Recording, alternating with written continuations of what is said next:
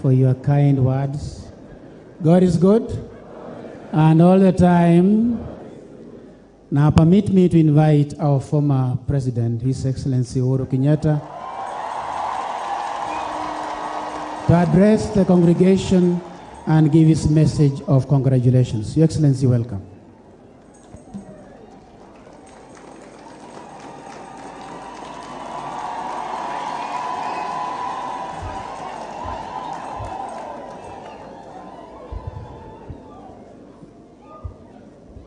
Your Excellency, the Apostolic Nuncio, Your Eminence, Cardinal Njue,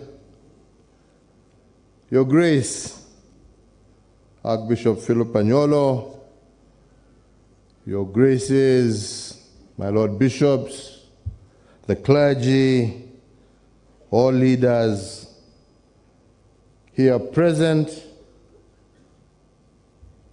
yangu ya kwanza ni kuchukua nafasi hii kuwapongeza mabishopu wetu wapya na kuwa na nafasi ya officially saying my lord bishop Bwana Kamomoe and my lord bishop Ng'ang'a. Sasa wamepata title lingine, kwa hivyo ni vizuri nikisema hivyo. Congratulations and we wish you every success and you're in our prayers. Niseme ya kwamba tuko na furaha kuwa pamoja nanyi siku ya leo, ikiwa ni siku ya kusherehekea na kurudisha uh, shukran kwa Mwenyezi Mungu kwa kutufikisha hapa na ndipo kila siku tunasema Mungu ni mwema na Mungu hutenda mema, na wakati wa kila mtu Mungu amempangia. Leo imefika ni wakati ya Father Kamomoe na Father Wainaina kuacha jina. Father Ng'ang'a pole nĩnjũrire kuacha jina father na sasa kuitwa bishop. Tondu muthenya uyu niguo mabangĩirwo ni ngai. Na niguo wao. Na nikio hindi ciothe tugaga ngai ni mwega. Yangu tu ni kusema ya kwamba wameingia hii kazi leo kusaidiana na wenzao haswa Archbishop Anyolo kueneza Injili katika dayosisi yetu ya Nairobi. Na hiyo sio kazi ambayo tutasema ni rahisi kwa sababu dunia ambayo tunaishi yaendelea kuwa ngumu, na ikiwa ngumu, saa ingine watu hupotea, na wakipotea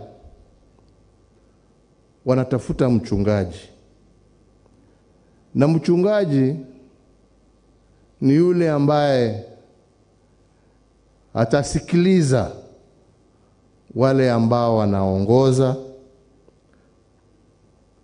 na badala ya kuwaeleza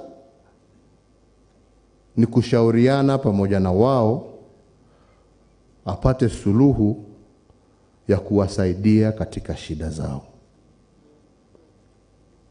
We have for too long sometimes taken leadership to mean your capacity to lord it over everybody else. But as the nuncio has reminded us today, the job of a shepherd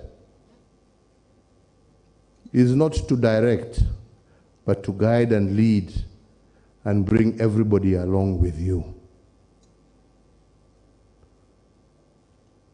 Tumesikia juu ya wa- wasaliti Nuncio ametuambia hapa mambo ya wasaliti, na ajichunge wasaliti wa kanisa. Mabishop mujichunge.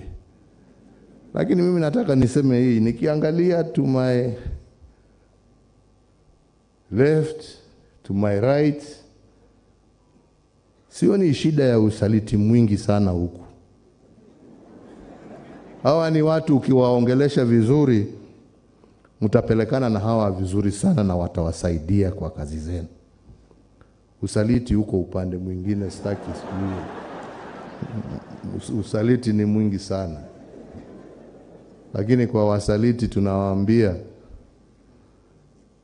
hata Judas alisaliti Yesu, lakini hiyo mahela aliiwacha, akaenda akatafuta kamba. Kwa hivyo kyosherawa because ya mwishine dale, kuna siku ambayo haina mwisho wake. So yangu ni kusema shirikianeni pamoja na hawa, bring them into your confidence, bring them into your trust. They, especially in difficult times, will help guide you through and bring your flock to greener pastures. There was once a man who said ya kwamba the church is the conscience of society. We must always ask ourselves, and especially the leadership of the church, is whether we are still faithful to that calling. Are we still the conscience of society? Or have we forgotten that critical role? In times of difficulty, that consciousness is very important. And I pray that the Lord God will guide our two new bishops, that they will remain that conscience, that they will speak their minds in the interest of their people without fear or favor, knowing that it is their mission to not only preach the gospel and teach, but also to practically walk and live with those that they shepherd through their difficult times and to stand for them when their people need it. It is servant leadership, not leadership to be served. I wish God's grace, I wish God's blessings, I also wish God's joy for you as you move forward. I congratulate your parents. Wa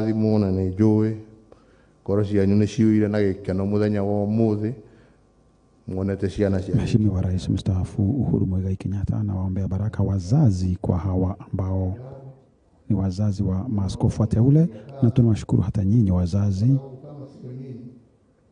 kwa zawadi yenu. kwa wazazi, kwa familia, kwa kushikilia hawa wenzetu. Twasema asante, twasema Mungu aendelee kuibariki taifa letu la Kenya. Mungu aendelee kubariki wananchi wetu wa Kenya.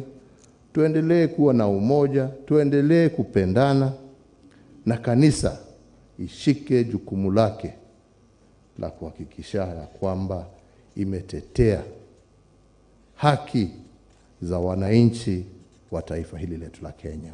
Mungu na wabariki na waweke. Asanteni.